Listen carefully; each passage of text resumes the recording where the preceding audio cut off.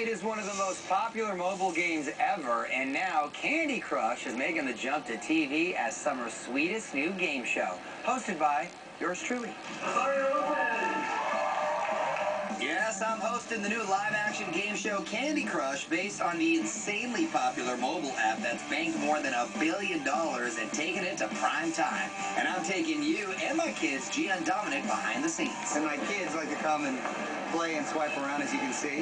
The TV game has teams of two competing on the world's largest interactive game boards to match candy combos. So these are called the mini boards, where they do the qualifying rounds.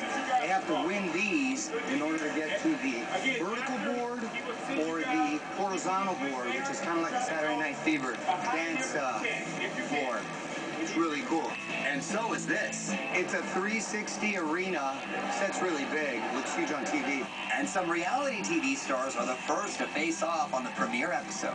Today we got a special episode of Survivor contestants Big Brother contestants. Really competitive group. It is.